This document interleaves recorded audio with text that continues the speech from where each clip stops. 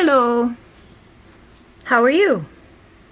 I'm going to show you how I how I do it, how I tie on and tie off my work. This is, would be some bead embroidery I'm working on. I ran out of thread. I got to tie on some new thread. So I have my needle threaded. And the way I do this is I put my needle close to where I want to tie off. I slide it through. I'm not going all the way through. going like halfway through this interfacing. This is Pellon Heavy Craft interfacing. Leave a little bit of a tail there, teeny bit, because I've got thread going through. And then I go through again, tie my half hitch knot like that. Tie another half hitch knot.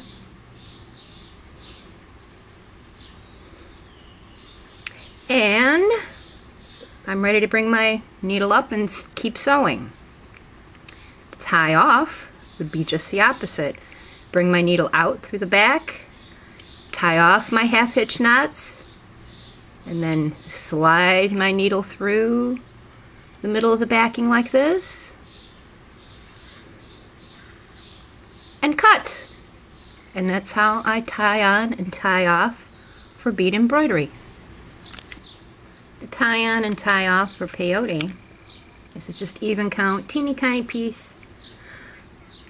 I would tie a half hitch through an edge.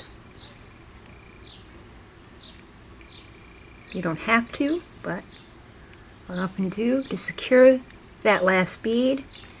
And then I weave in and out through the beads until they're secure. I feel they're secure. And then I work my needle up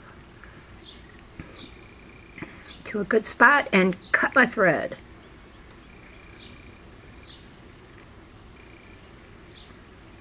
like that.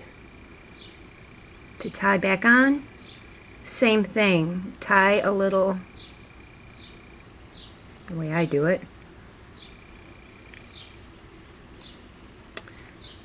Tie one, one half hitch, pretend this is a new thread, tie a half hitch to an edge.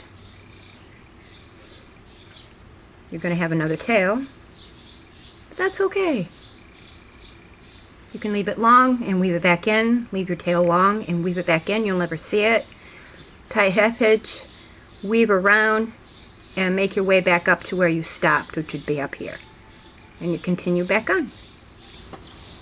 If I'm tying a ring for netting, I want to net this ring, for example. I'd bring my beads down to the tail end. You can leave as long a tail as you like. Some people like long tails. They have a purpose for them. I usually don't. And you tie one overhand. Try not to get those beads tangled or, you know, jump over the thread. And then tie the tail around twice. This is called a surgeon's knot and I learned this from a beading friend named Kate. Hello Kate. Long time ago and it's very strong, a very strong knot. And it's not, your beads aren't going to go anywhere. Pull tight. You could tie one more if you want to.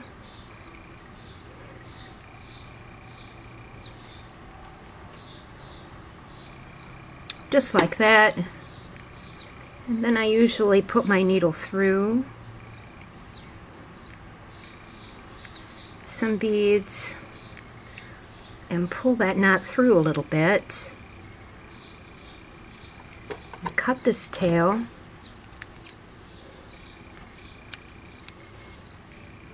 It will hide everything. And then you can slide your bead over your whatever you're going to work on and start your netting. It's just a little bead tube. When you're ending, when you're ending, uh, if you needed to add more thread, you would tie half hitch knots through your beads. So my thread is coming out here. I tie one half hitch knot here.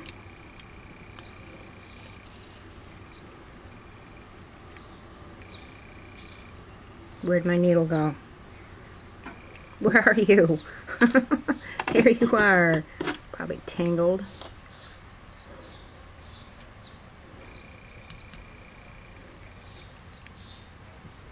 Well, that didn't work. One more time. Come on, focus. Bring your needle down.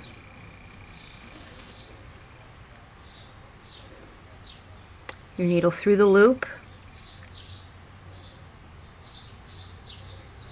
Keep the thread where it's supposed to be. You don't want to cross over the beads. Pull it where it's supposed to be. Just pull. Move your needle to through a few more beads.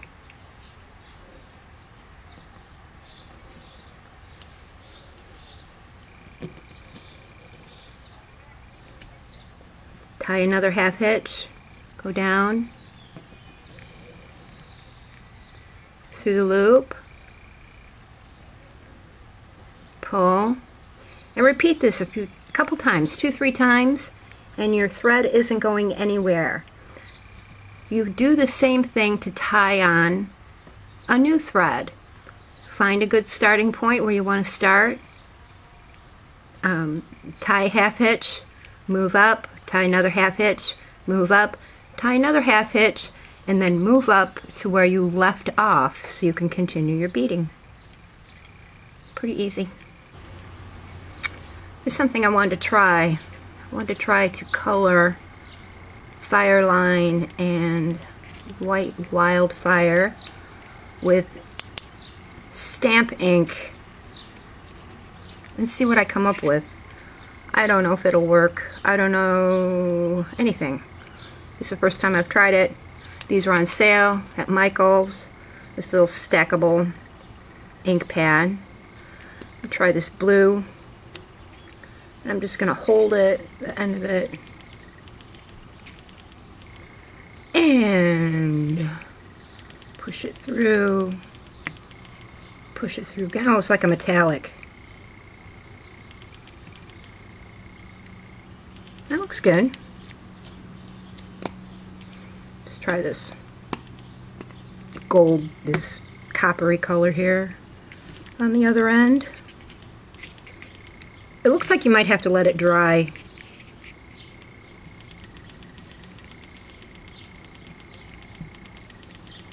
Oh, that's wonderful. Looks great. Happy with that.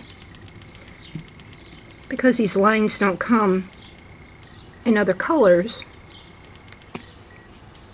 I want to see if I can color it. And it looks like you can. Try it on the wildfire. Try this this green.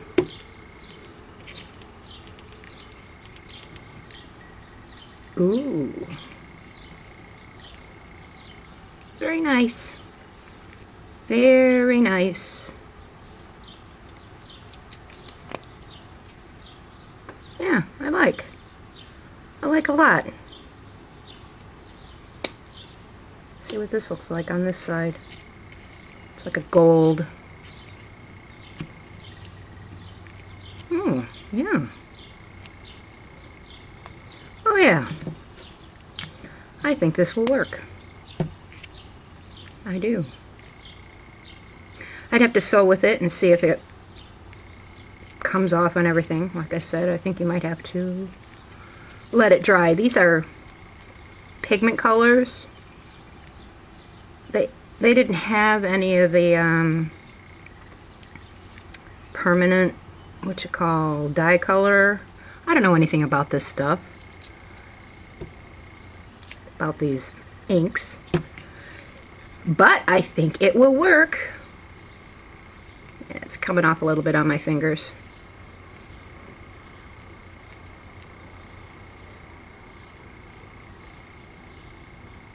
Hmm. Oh, yeah. if you got the, the because it's got a metallic in there, I think that's might be an issue.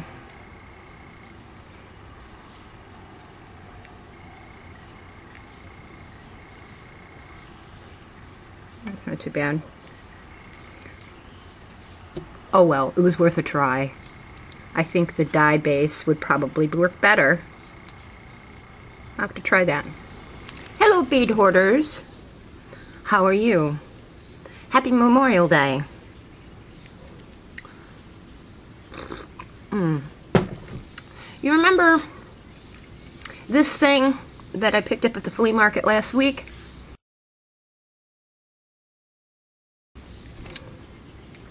Well, I took all the rings off. Three sizes, which is awesome. And I beaded the rings like I said I would. Reattach them to the chain in this way. And it came out very, very nicely. I even added a little dangly thing to the clasp. This is the same chain, which I may or may not keep. Uh, I have some of this chain right here. But I like this one because it was a little closed, a little more closed. And this worked well for the clasp, make it adjustable. I had to add some extensions because it was way too small. Um, would have choked to death. And I just beaded the rings with a brick stitch in three sizes of the same color of Miyuki rounds. There's 15s, 11s, and 8s on the outside, and I needed the 8s on the outside so I could get the jump ring through. Okay? Very not hard. The hardest part was actually trying to get it spaced evenly between the rings on the chain. So yeah, I think that's much more updated look, kind of pretty, and uh, seeing that I only paid about less, mm, what I pay for all these materials? Maybe a buck fifty? if that, um, not many beads in here. I use the same clasp. This chain is just pennies. The beads are pennies. So, yeah pretty cool. I like it. I don't know if this is not, I don't know if I'll keep it, give it to one of my kids. I'm not sure. I haven't made up my mind. So I thought you might like that. I'll show you the back a little more. Whoop. Right here. I think that'll be nice. I didn't keep any of my neck molds, you know, the forms when I moved last year, I got rid of all that stuff, which is really stupid. Um, I never should have done that, but I did. Because I just didn't want to move it all. I got rid of a lot of stuff. And now I want it back. anyway, that's it. Have a wonderful Memorial Day. Thank you, military. Thank you, Nicholas. I love you. Stay happy. Stay inspired. Bye.